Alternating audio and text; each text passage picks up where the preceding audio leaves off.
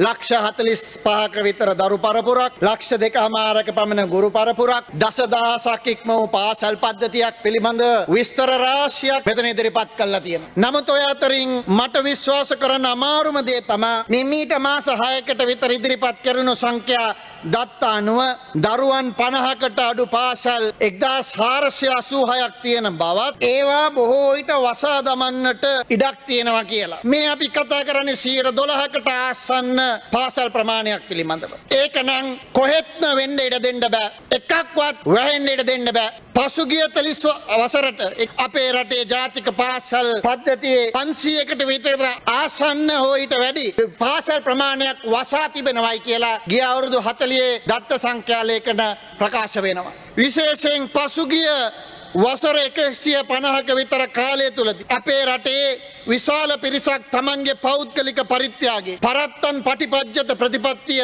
මුල් කරගෙන මේ පාසල් බොහොමයක් දයට දායාද කරා. විවිධ කඩයිම් පයශිෂ්ෂත්ව සාමාන්‍ය පෙළ උසස් පෙළ සරසර වරම් ජයගන්නා දරුවන් ඉන්නා වගේම ඒවයෙන් මග හැරෙන මග හැලෙන අයත් ඉන්නවා කියන එක අපි මතක් කර ගන්ටෝන්. අඩුම තරමේ ඒ අයට වෘතිය නිපුණතාව අධ්‍යාපනයක් ලබාදෙන්ට ඔවුන් හැලෙන තැනින් ස්වා නැවත ජයග්‍රාහි මාවතකට යොමු කරන්න මේ වහන්න හදන පාසල් යොදාගන්ට කියලා අපි සාතිකවෙන්ට ඕන.